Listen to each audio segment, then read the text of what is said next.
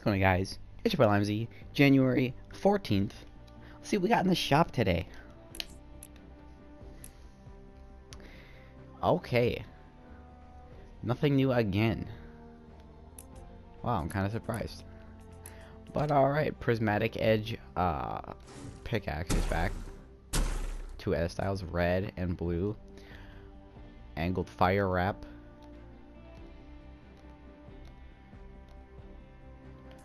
And the Oppressor skin with two edit styles, default and blue, with the backbling exospine, default and blue. These are pretty cool skin.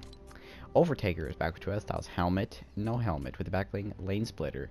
Whiteout is back with the ignition backbling, she has two edit styles, two helmet, and no helmet. White Squall. And the Cyclone. Alright. Flapjackie is back with two styles, default and black and white. With the back bling, Nibbles, which has two styles too, default and black and white. Growler is back, default, black and white. With the back bling, Woofs, default and black and white. Alright, Jack, Jack Spammer. Poofy Parasail. Spell Styles, Dog, and Rabbit. Alright. Rapscallion is back again with the Burgle Bag back bling. Toxic Tagger is back with the Pry Pack back bling. Squared Wrap. This is a pretty cool wrap. I like this wrap. Alright, Lazy Shuffle.